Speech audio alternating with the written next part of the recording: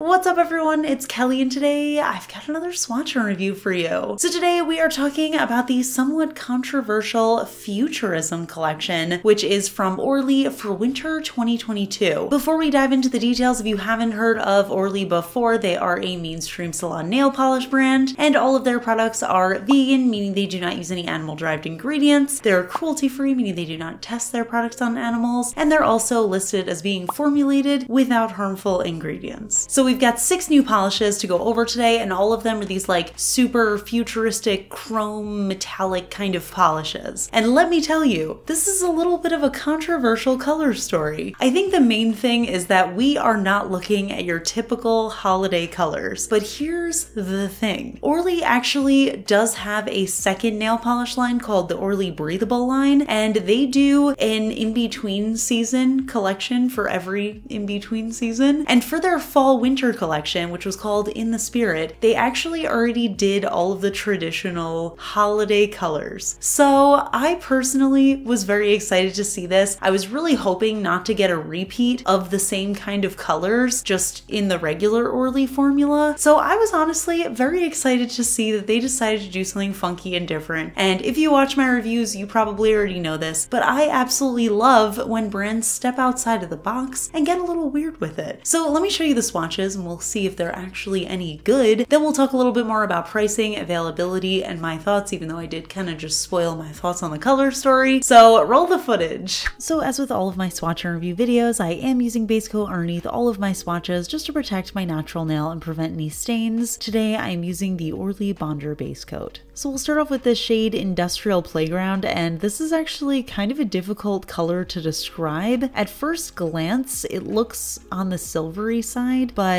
when you inspect it a little bit closer, it has this really intense blue toned purple shimmer running throughout. So it's almost like this metallic soft, cool toned purple. And I thought this was a really unique shade, but also pretty perfect for winter, just because to me, it really represents those gray, cloudy days, but with a little pop of brightness in that shimmer. I honestly thought it looked good in two coats in real life, but on camera, it looked a tiny bit sheer, so I ended up going in with a third coat, and I thought that looked really gorgeous as well. Now, this one does have a little bit of that pearlized shimmer to it, so on your final coat, you want to be careful with brush strokes so that there's no weird lines on your nails. You can see if you apply it carefully, it doesn't really look streaky at all. I also wanted to try this one with a matte top coat. I actually mattified all of the polishes in this collection just out of curiosity, and I have to tell you, I am 100% obsessed with how they look mattified. Very futuristic, very cool, almost like a velvety kind of feel to them. Next up, we have the shade Forward Momentum, and this one is another purpley metallic shimmer, but this one is a little bit on the warmer side. And what's interesting about this one is looking at it closely, you can actually see these slightly larger purple metallic flecks running throughout. So you can see those little specks on my nail that are catching the light. Those are just this gorgeous purple metallic. So I thought that was a really interesting touch to add in here. It really adds to the metallic vibe and it also makes it lose any of that pearliness that you might get. So if you're not a fan of brush strokey polishes, this is a great option for you. Of course, I had to mattify it as well, and no surprise, it looked super cool, especially with those little metallic flecks in there. They just caught the light and looked so cool on the nails. Moving on, we have the shade Dynamism, and I have to tell you, I thought that this was going to be the most boring shade in the collection when I saw it in the bottle, but on the nail, surprisingly, this ended up actually being my favorite out of all of them. It's sort of this medium to light brown base, and then we have this intense pinky purple shimmer running throughout. And I don't know, there's just something very cool about this color combination. I personally love a streaky polish. So again, you want to go in with that second coat pretty carefully to make sure that it looks nice and smooth. And when I put matte top coat on this, I absolutely fell in love. It's definitely not your typical winter or holiday color, but the first thing I thought of was this would be so cute to do little gingerbread cookie nail art because I don't know, it's like giving me cake cake texture for some weird reason.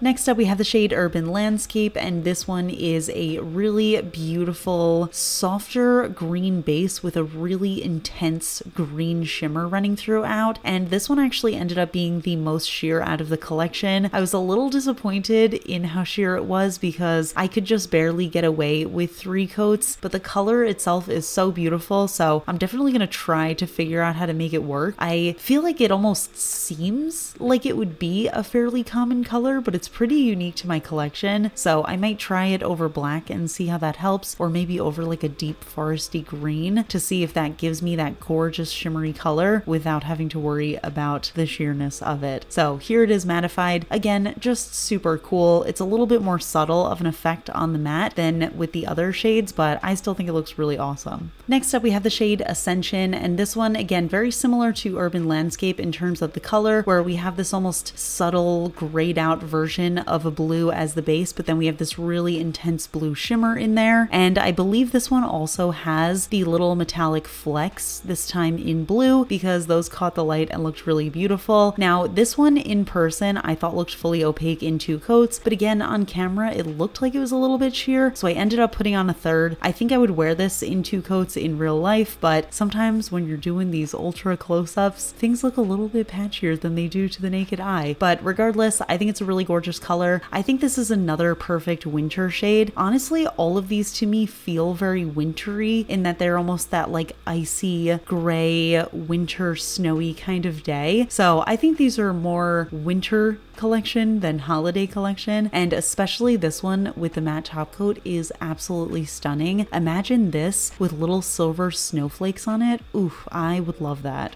And the final shade in the collection is this one Fluidity, and this one is a silver metallic polish. It's a little bit of a deeper, darker silver than most silver metallic polishes. And as you can see, this one was actually really sheer. I'm wondering if it maybe is meant to be a topper. I didn't actually try it as a topper in this video, but I probably should. I ended up getting full coverage in three coats, but it was definitely on the sheer side. But I thought that this one looked pretty unique compared to my other silver metallics, and I'm not exactly sure why. I feel like there's different types of glitter in here. You can almost see around the edges where my cuticles are, there's like this kind of rainbow sparkle going on in there. And I'm not sure if there's a little bit of a holographic sparkle. I'm not sure, but either way, I think it looks really cool and it really does look pretty futuristic. So very happy about this one. Here it is with the matte top coat. It actually looked pretty much the same with matte top coat, but it did lose a little bit of that rainbowy coloring. So here are all the polishes together and looking at them side by side, I actually do think that this fits perfectly as a winter collection. I love all of these sort of icy, grayed out kind of colors in the winter, especially like January and February feels like this kind of time. And I also love a streaky shimmer around that time. I'm not sure why it always reminds me of snow, but I think they're really cool. I love how they look mattified. I think that's such an awesome way to wear them. And I also just think that they look a lot more intriguing on the nail than they do in the bottle. I feel like people who might find themselves disappointed in this collection should really see what it looks like on the nail before they make a decision because I think a lot of these shine and have a lot more visual interest when you're actually wearing them as a manicure. So hopefully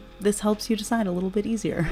so those are the Futurism polishes and I already mentioned in the beginning of the video my thoughts on the color story in general, just saying that, you know, I appreciate that they got a little funky with it. I actually really enjoy when brands do something a little bit different from like the traditional colors. Don't get me wrong, I absolutely love the traditional polishes as well. I mean, you might know this about me, but I do love nail polish in general. So it's gonna be kind of hard to give me a good formula and expect me not to like it. But I do really just like seeing something different. I like when brands try something new. And I think that Orly actually really succeeded here. The only thing that I have to say on the color story is I do think that it's a little ironic that it's a futurism collection because when I first saw these, they to me screamed 90s. And if you are a fellow 90s baby, then maybe you can also envision it with me. But this collection to me feels like the 90s version of what we thought that the future was going to look like. So I actually really love it for more nostalgic reasons rather than like futuristic reasons. But I will say, I think they read a little bit more futurism on the actual nails. In the bottle, definitely like early 90s vibes.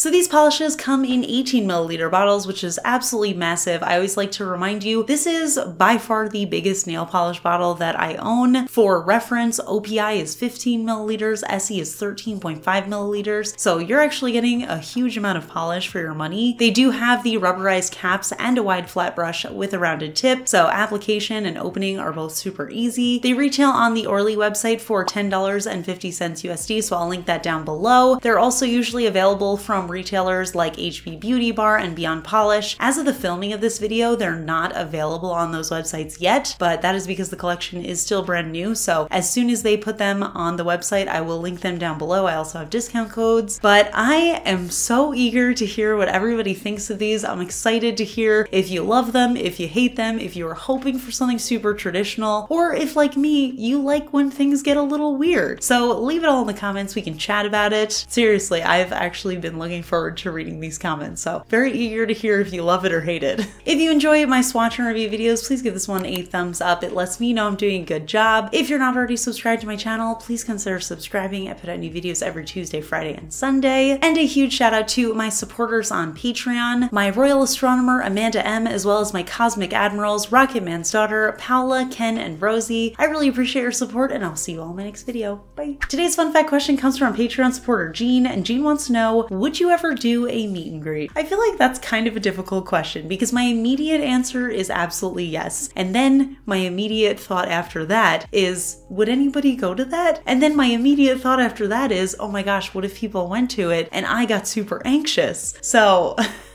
So to sum it up, yes, I definitely would. I would be a nervous Nelly, let me tell you. I also, like, in my mind, I understand that, you know, I have this great community. I love chatting with you guys in the comments, but to me, I'm just sitting alone in my room filming this. So, like, I I have a hard time visualizing the fact that there are people that might potentially ever want to meet me. So like that to me, I, I like can't reconcile it in my brain. But then I think if people did show up, I would be super nervous because I think if people were ever potentially nervous to meet me, I think I would be more nervous. I've only had a few encounters in my life where fans and people in my community have met me. And let me tell you, every single time I was shaking like a little dog because I was so nervous. So that would definitely be an interesting experience. But if the opportunity ever does arise, please know that I would totally do a meet and greet. So maybe something we can organize in the future if people would ever want to do that. Could be interesting. Who knows? I'll see you all in my next video. Bye.